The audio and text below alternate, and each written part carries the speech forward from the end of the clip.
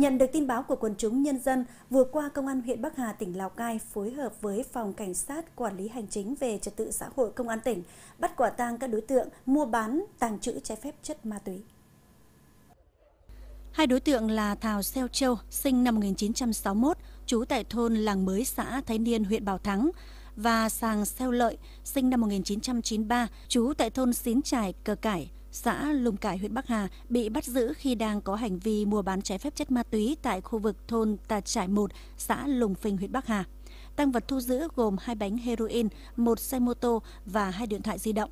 Trước đó vào khoảng 19 giờ 15 phút ngày 14 tháng 4, tại nhà nghỉ Tú Anh thuộc thôn Khởi Bông, xã Bảo Nhai, Công an huyện Bắc Hà cũng đã phát hiện bắt quả tang đối tượng Giàng Xe Vu, sinh năm 1997, thường trú tại thôn Bản dồ xã Bảo Nhai, có hành vi tàng trữ trái phép chất ma túy. Quá trình kiểm tra, khám xét, tổ công tác đã thu giữ hai bánh heroin có trọng lượng 701,08 gram